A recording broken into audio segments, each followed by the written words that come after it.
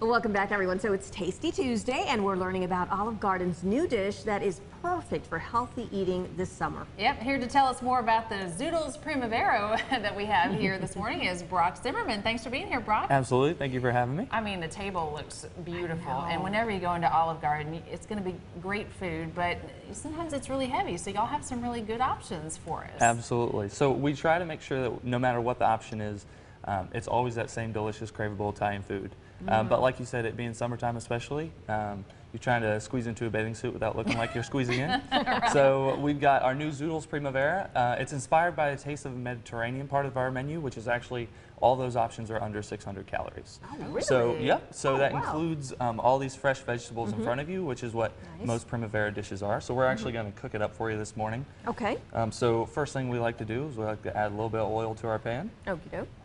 So one of the big things with this is all the fresh vegetables, absolutely key. You want to make mm-hmm. sure that you don't take any shortcuts there. Mm. So we have here our seasoned tomatoes that we make mm. in-house. We're going to add some mushrooms over here. Can I can I taste those You sure can. Man, they look really good. Those Want to taste that? Yeah. Seasoned with what? Um, well, we can't give away all of our secrets, but I will tell you basil is a huge part of mm. this entire dish. wow. So we're going to add some mushrooms there. We're going to do some red peppers as well. And then we've got our carrots.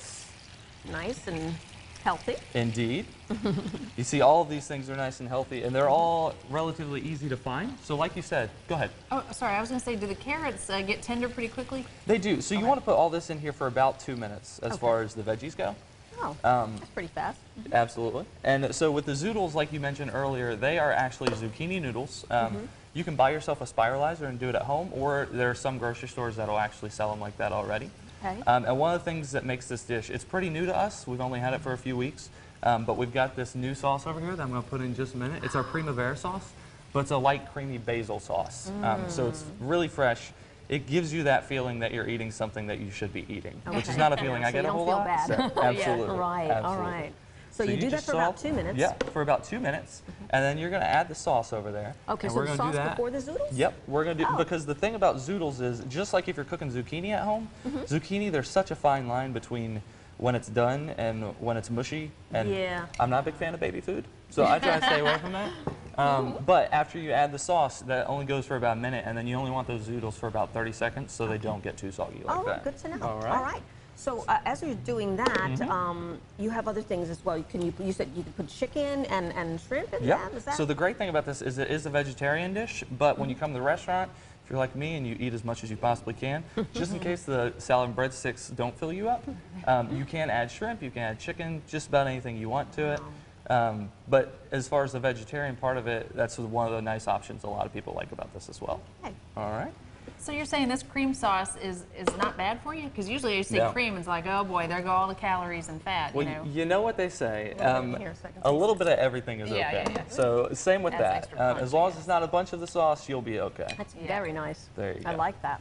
That coupled with Oh, the, yeah. you know, the, these great tasting Oh. tomatoes, which were with the You gotta give us the secrets to these Mm-hmm. tomatoes at some point. Can you give us a hint? I'm not that smart. I don't know all the secrets.